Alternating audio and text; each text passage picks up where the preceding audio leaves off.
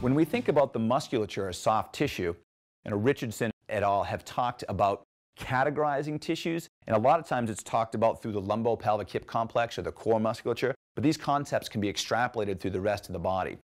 So we have the idea or concept of local musculature versus global musculature. If we think about local musculature, it tends to be deep, like the rotatores or the lumbar multifidi that are going to run joint to joint or small segment to small segment. These muscles are going to be anticipatory in nature. They're going to have that feed forward mechanism to them. They're going to activate before movement actually engages. Versus the global musculature that's going to be further away or multi-joint, a little bit more superficial and going to be more reactive to what's happening. The local musculature is also going to be lower force producers made up of a higher percentage of type 1 muscle fibers, great for endurance, low force production over long periods of time. Sometimes these are called postural muscles. The global musculature has higher levels of force production, higher percentage of type 2 and sometimes type 2X muscle fibers, produces force at a higher level, but not a lot of sustainability with that.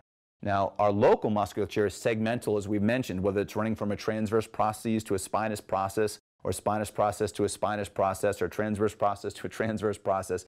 Think local, small little stops within a chain. I live in the suburb of Boston when I'm in town, and if I'm looking at the subway and Green Line, that's our train or subway there, the stop to stop to stop to stop. Local stop, stop to stop, versus one train that might go from city to city. So I'm talking locally from stop to stop.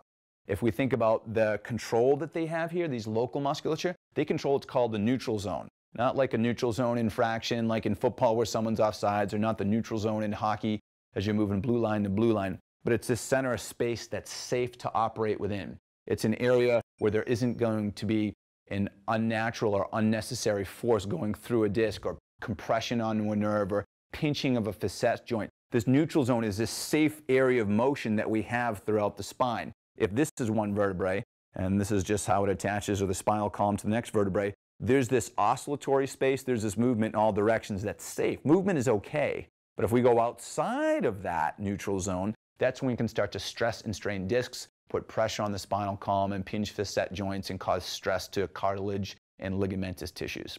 The outer range of motion is controlled by the global musculature. The bigger ranges, we're talking local, the smaller segmental or neutral zone control here.